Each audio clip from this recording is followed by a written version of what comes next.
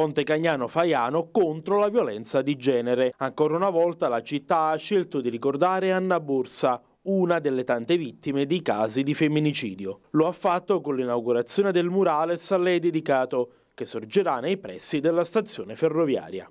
È nato tutto ad agosto questo desiderio, questo desiderio di realizzare il ritratto di Anna e in concomitanza di fronte al centro antiviolenza proprio dedicato a lei.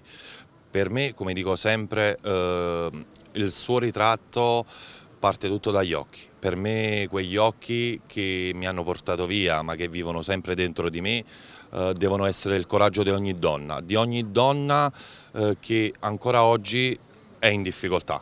E quindi io spero che con questo, eh, con questo segnale, perché per me è un, è un segnale che io voglio dare, mm, non perché io voglia realizzare mia sorella vicino ad un muro, anzi avrei voluto che fosse a casa adesso, però purtroppo la vita a volte è ingiusta.